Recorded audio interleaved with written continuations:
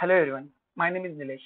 In my earlier videos on JDBC, I talked about JDBC concepts and programming.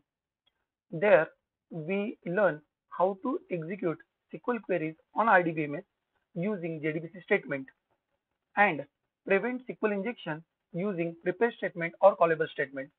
We also discuss about transaction management using JDBC. We can write these JDBC code into Java SE standalone application as well as Java web application. However, if my application is bigger one, writing JDBC code in almost every method make my application highly unreadable and unmaintainable. It is very standard practice to put all JDBC code into some set of classes usually referred as data access layer or data access object. In this video, I will show you how to create these data access object in JDBC application and how to make our application very much readable and maintainable. So a typical Java application involving JDBC looks like this, where end user refer to front end. The front end will execute the business logic and most of the time business logic need some data to be taken from the database, which is typically done by the set of classes called as data access object or data access layer. This sort of application where you can see three clear different parts can be referred as three tier application. Now in this demo we will show you how to implement the data access object and how to call them from the main class directly. So for this very simple example, I will be creating a students table in RDBMS. Then for writing data access layer, we will first create DBUtil class that creates JDBC connection. Then we will write student DAO class which actually performs CRUD operation on the database. To hold each row data from the students table, we will also create a student POJO class which is also referred as entity class. And this simple demo, we will not writing any sort of business logic. Instead, we will directly write a main class and from there we will call the methods to test them. For this application, the steps will be very straightforward. All we need to create a table, then one Maven project and start implementing classes one by one. Now it's time to actual code. Let me open my Eclipse IDE. We will create new Maven project.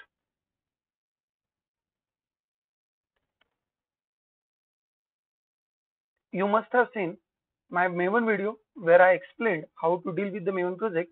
You can go back and refer to that if you do not recall them. Right now I'm creating a simple project. I click on next. I will have group ID, let's say com.example, artifact ID where this is JDBC demo 06. Name of the project I'm going to keep it same. Let me click on finish. Now let us go to the pom.xml file and into pom.xml file I want to add MySQL dependency. Dependency is added under dependency section and this is a dependency that I have copied it from the Maven website. I'm using MySQL driver version 8.0.30. I need to also ensure that the Java 11 settings are updated over here. So I will go to properties. I'll also add Maven compiler source as 11 and also my dot class file should be compatible with Java 11. Right now it is showing me the Java version 1.5 updating Maven project so that my Java 11 settings are taken care. Now it's time we can get started with the actual coding. The very first class that I want to create is DBUtil class. DBUtil class will be creating JDBC connection. Here I want to put my general properties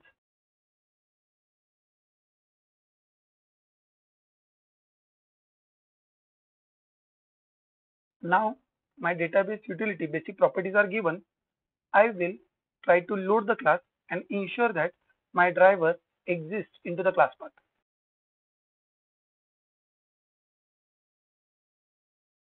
I'm exiting from the application if the driver is not found.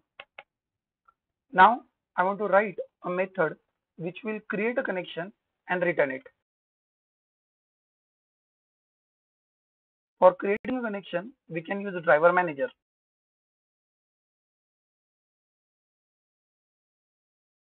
Now my database utility class is ready. Whenever I need JDBC connection, I will just make a call dbutil.getConnection. Please note that method is static method. Now let us create a Pojo class to hold students records.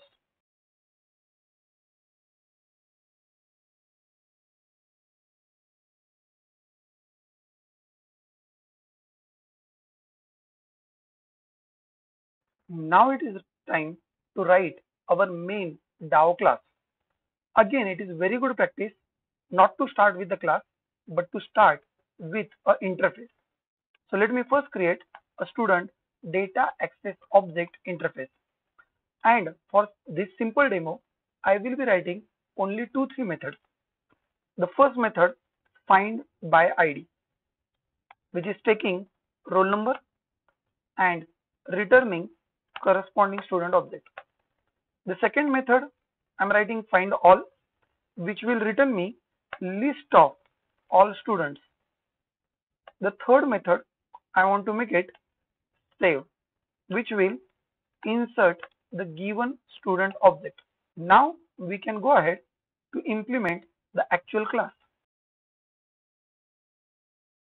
My class is to be inherited from student DAO and we need to implement all the methods in this. However, for each method, we will need a JDBC connection. Instead of creating a JDBC connection in every method, I'm planning to keep it in a constructor so that I need not to repeat the same code again and again. Here, I declare a connection data member and in a constructor, let me make connection using our DB Now to close the connection immediately, I will be going with auto closable. Auto closable will also help me to use try with resource syntax with my student DAO class. I do not want to throw any exception over here. So let me close the connection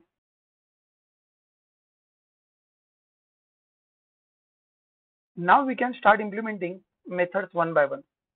The first method I'm looking forward is find by ID method. It is simple select query and as you are aware using prepare statement is always a better idea.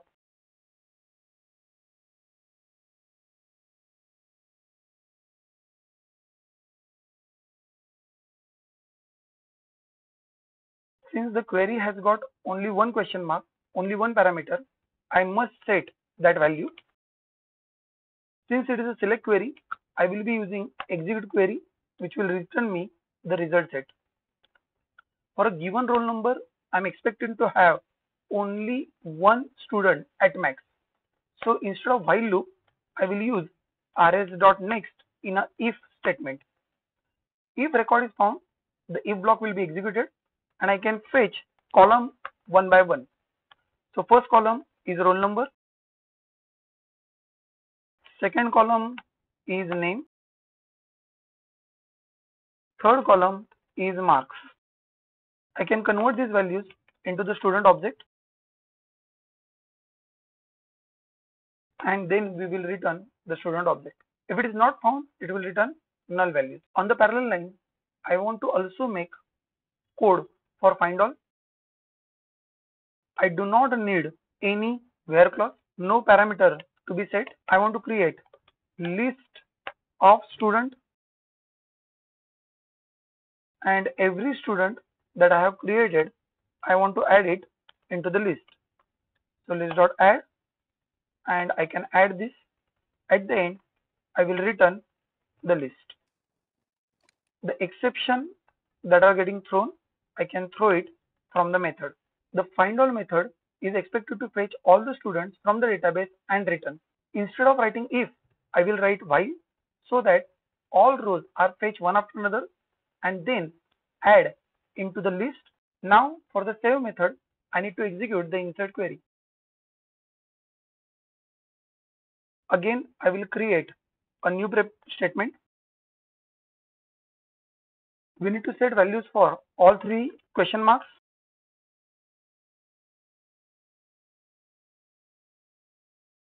Now we can execute the query. Since the query is DML query, I need to go with the execute update. Here I am returning number of affected rows. If the query is executed successfully, the count is expected to be 1. Again, I'm putting throws exception clause. Since we are overriding method from interface, this throws clause expected to be there in interface as well. So let me go back and put them into the interface as well. Since we are calling that student DAO from the main, we can also make our interface inherited from auto closable. Now it's time to create a main class.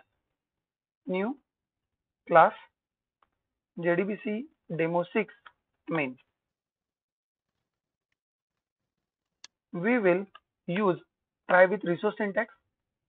Since we have used auto closable, now student DAO DAO is equal to new student DAO IMPL and this will ensure that moment try block is completed, the DAO is closed automatically.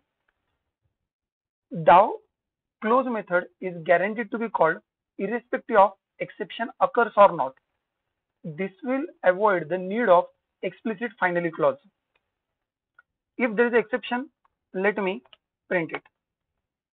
Now we can paste it DAO dot find all. It returns. List of students.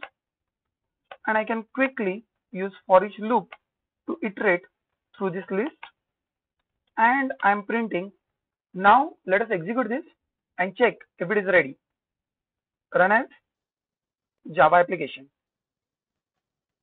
Great so all students are fetched what if if I want to insert a new student let me give a try on that as well you can create a new DAO object or you can continue using the same DAO object.